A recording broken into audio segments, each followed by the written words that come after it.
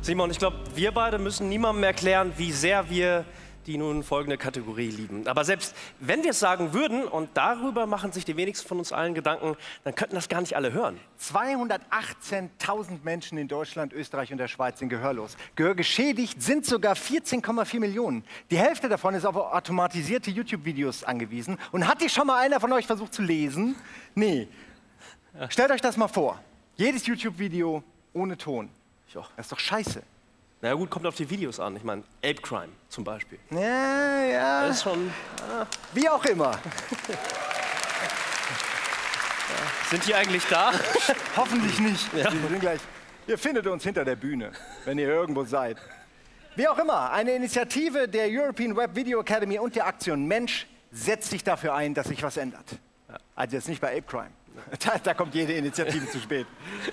Diese gemeinsame Initiative will ein selbstverständliches Miteinander von Menschen mit und ohne Behinderung. Selbstverständlich. Und das natürlich auch im Internet.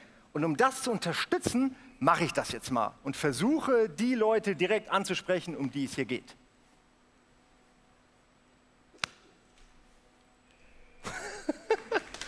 Sehr gut. So, Leute. Kommen wir also zu Games. Wir lieben Games. Und Wir- die Nominierten tun das auch. Hier sind die Nominierten in der Kategorie Games.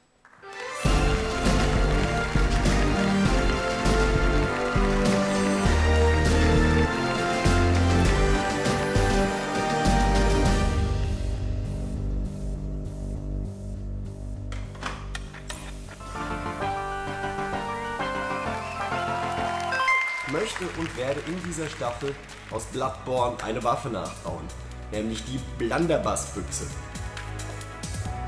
Das ist ja auch das Schöne an dem Projekt, es darf ja gerne oder muss sogar kaputt aussehen, dass es wirklich gut wirkt. Es werden auf jeden Fall weitere Projekte kommen auf meinem Kanal und auch wieder auf Rocket Beans TV.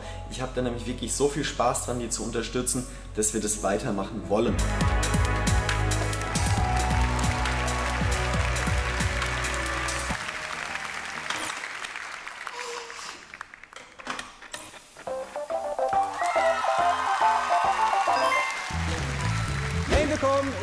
Bergmann und ich begrüße euch zu, zu, zu einer neuen Folge.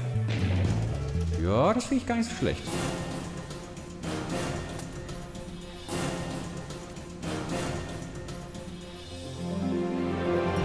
Macht's gut, bis dahin. Tschüss. Euer Bergmann.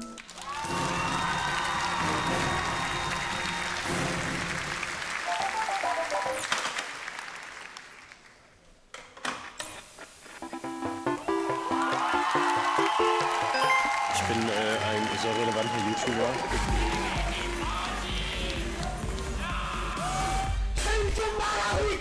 Schon wieder die Falsche, ich krieg einen Kock in den Arsch. Ich schmeiß dich aus der Scheißboot. Wo? Ich hab grad Chompies übel geoutplayed. Ich bin ein bisschen heiß auf den Kill. Cool, ich freu mich. Das bringt nichts. 나쁜 아, 1위가 좀 전까지 같은 지금까지입니다. 2013 war er selbst nominierter. Heute präsentiert er die Kategorie Gaming. Begrüßt auf der Bühne The Kedos Zone.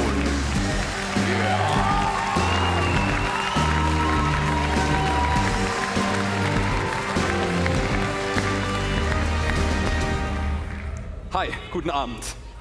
Gaming ist nach wie vor einer der etabliertesten Bereiche im Webvideo. Und trotzdem oder gerade deswegen muss immer wieder mit Mut zur Innovation an das Thema herangegangen werden, um dem Genre die Möglichkeit zu geben, sich weiterzuentwickeln und stets ein Stück neu zu erfinden. All das haben die drei Nominierten offensichtlicherweise getan, sei es jetzt durch cineastische Bilder, grandioses Handwerksgeschick oder eine sehr erfrischend unkonventionelle Art und Weise, an verschiedenste Projekte ranzugehen. Und natürlich befindet sich unter diesen drei Nominierten auch ein Gewinner. Der Gewinner des Webvideopreises 2016 in der Kategorie Gaming ist Hand of Blood.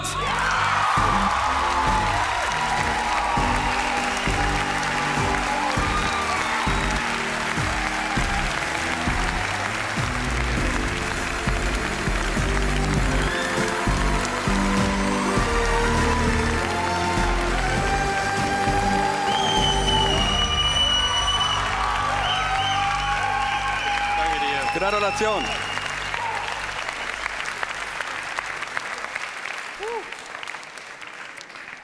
Schönen guten Abend. Liegt dir mal eben hin. Ähm, ja. Ich habe äh, tatsächlich was vorbereitet, entgegengesetzt zu meinen Vorgängern, geht aber ganz schnell, denn ich habe das auf der Fahrt hierhin extrem runtergebrochen. Ähm, ich bin nämlich leicht verkatert. Warum, sage ich gleich, damit fängt es nämlich an. Äh, ich muss viel vorlesen, ähm, weil ich wenig Zeit und wegen der Verkaterung, denn, genau, ich möchte vorher anmerken, ja, ziemlich im Arsch bin, so. Denn ich war gestern auf der Hochzeit meines sehr guten Freundes, Wegbegleiters, Nachbarn und hört, hört, Managers Hendrik Ruhe, der heute sogar hier ist, ähm, der trotzdem angereist ist. Ich wünsche euch alles Glück der Welt nochmal. Ähm, ja, oh.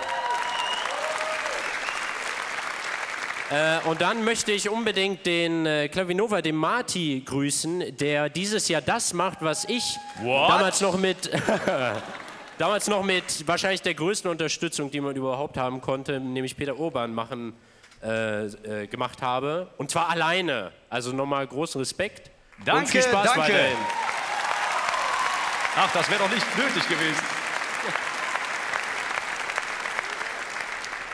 Ja, ähm, letztes Jahr, wo ich da oben noch saß und wie gesagt, äh, wir hatten ja mal so einen Vertreter aus dem Fernsehen dabei, bei mir war das Peter Urban, denn letztes Jahr war das ja alles noch ein bisschen auch in ne, Richtung Fernsehen mit der ARD zusammen und so weiter. Ähm, und dieses Jahr nicht. Und immer wenn ich auf dem Familienfest bin, fragt mich meine Oma, sag mal Maximilian, was machst denn du nochmal? Und dann erkläre ich ihr das. Und dann fragt sie mich, auf welchem Programm kann sie das sehen? Wo soll sie einschalten? Und jetzt wäre das heute meine Chance gewesen, aber leider. Ja, gut.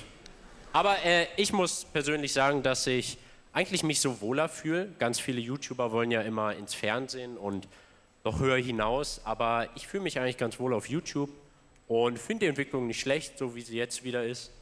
Ähm, denn ich mag YouTube. Ja. Äh,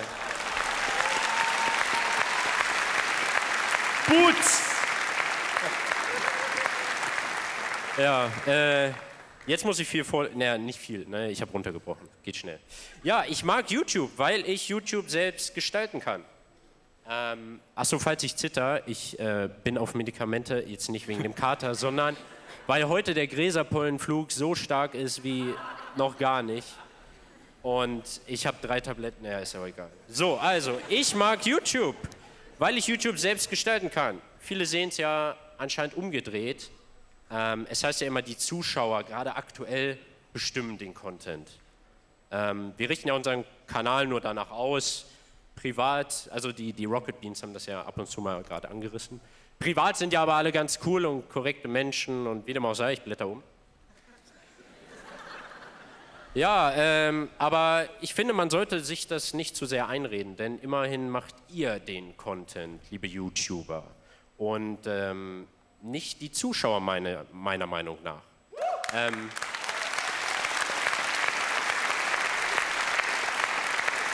das, also, wo äh, Deutsch-Abi habe ich gelernt, was ein Totschlagargument ist und ich finde, das ist eins. Das ist ein ziemlich langweiliges Totschlagargument.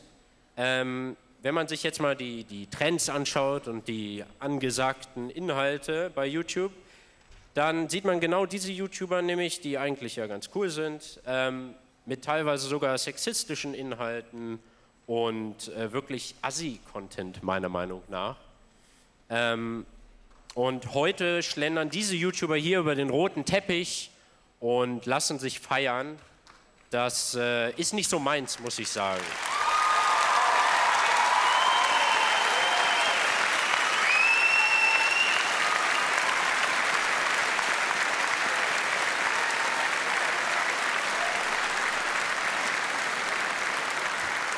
Okay. Wow. Gut, dass ich es runtergerissen habe. Ähm, ja. Äh, ja, ich finde, dass wenn YouTuber ernst genommen werden wollen und wenn sie meinetwegen ins Fernsehen wollen und höher hinaus, dann sollten Sie sich erstmal Ihrer Verantwortung gegenüber Ihren Zuschauern bewusster werden, finde ich. Und äh,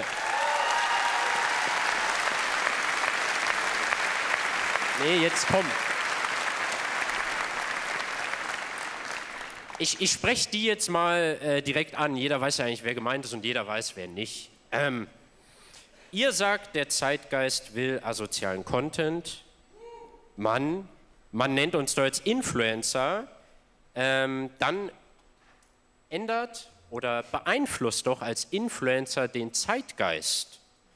Kein anderes Medium wie YouTube hat so viel Einfluss auf junge Zuschauer. Also nicht rausreden. Gut. Jetzt kommt, jetzt, ja. Entschuldigung, wir können gleich runter.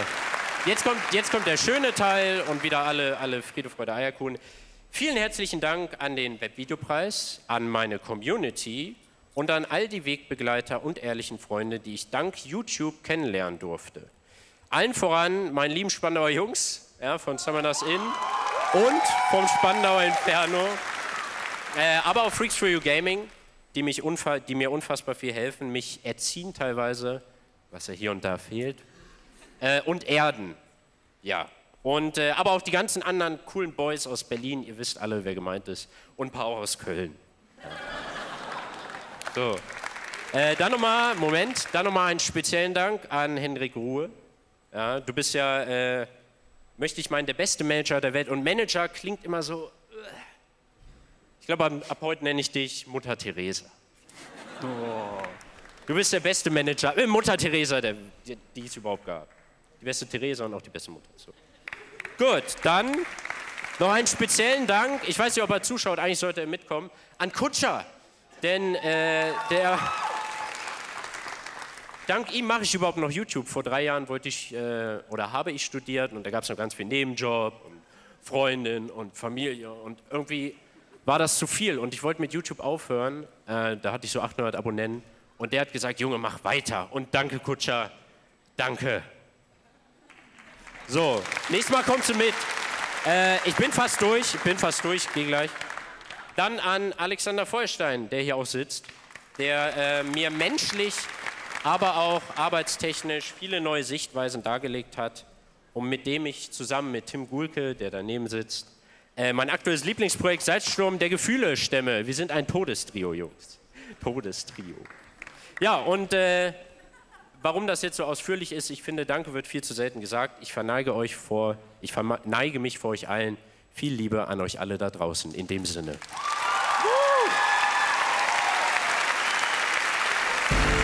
Wir gehen gemeinsam runter. Ist ganz so schön.